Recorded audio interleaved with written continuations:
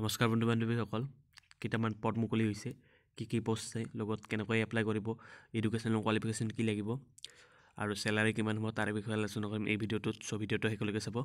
চাব প্ৰথম পদটো হৈছে আপোনাৰ ৱৰ্কশ্বপ এটেণ্ডেণ্ট তাৰ বাবে আপোনাৰ তিনিটা পদ আছে লগতে আপোনাৰ ইণ্টাৰভিউৰ ডেটটো হ'ব সাত এক দুহেজাৰ বিছ।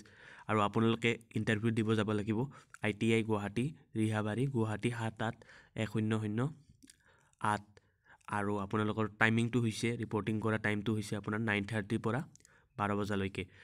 নেক্সট চাব। আৰু ৱৰ্কশ্বপ এটেণ্ডেণ্টৰ আপোনাৰ কোৱালিফিকেশ্যন লাগিব এন টি চি নহ'লে এন এছ চি আৰু এক্সপিৰিয়েঞ্চ টু ইয়াৰ এক্সপিৰিয়েঞ্চ বিচাৰিছে আৰু আপোনাৰ চেলাৰী হ'ব ন হাজাৰ টকা নেক্সট পদটো চাব আপোনাৰ পিয়ন পিয়নৰ বাবে আপোনাৰ তিনিটা পদ আছে। ইয়াৰ বাবে আপোনাৰ ইণ্টাৰভিউ ডেটটো হৈছে আঠ জানুৱাৰী আৰু আপোনালোকে ইয়াৰ বাবে মেট্ৰিক পাছ কৰিব লাগিব। লগতে আপোনালোকক ইয়াতো দুই বছৰ আপোনাৰ টু ইয়াৰ্ছ এক্সপিৰিয়েঞ্চ বিচাৰিছে লগতে আপোনালোকৰ চেলাৰী হ'ব ন হাজাৰ টকা। নেক্সট পদটো চাব আপোনাৰ চকীদাৰ চকীদাৰৰ বাবে আপোনাৰ তিনিটা পষ্ট আছে আৰু ইয়াৰ ইয়াৰ বাবে ইণ্টাৰভিউ হ'ব আপোনাৰ ন জানুৱাৰীত আৰু ইয়াৰ বাবে আপোনালোকে এইট পাছ কৰিব লাগিব।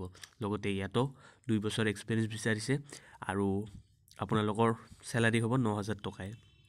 নেক্সট পদটো চাব চুইপাৰ চুইপাৰৰ বাবে আপোনাৰ দুটা পদ আছে আৰু ইয়াৰ বাবে আপোনাৰ ইণ্টাৰভিউ ডেটটো হৈছে আপোনাৰ ন জানুৱাৰী।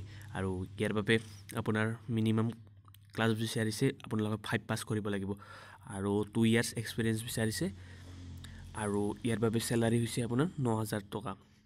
চাব আপোনালোকৰ এজ লিমিটটো এজ লিমিটটো আপোনাৰ টুৱেণ্টি ইয়াৰ্ছৰ পৰা ফৰ্টি ফাইভ ইয়াৰ্ছৰ ভিতৰত হ'ব লাগিব। আৰু আপোনালোকে যিদিনা ইণ্টাৰভিউ হ'ব। সিদিনা আপোনালোকে লৈ যাব লাগিব। আপোনালোকৰ সকলোবোৰ অৰিজিনেল ডকুমেণ্টছ লগতে এক্সপিৰিয়েঞ্চ চাৰ্টিফিকেট আৰু আপোনালোকৰ two copy recent passport size photo আৰু আৰু আপোনালোকে যদি ডিটেইলছ চাব খুজিছে তেতিয়াহ'লে আই টি আই ৱেবছাইটটো ভিজিট কৰক।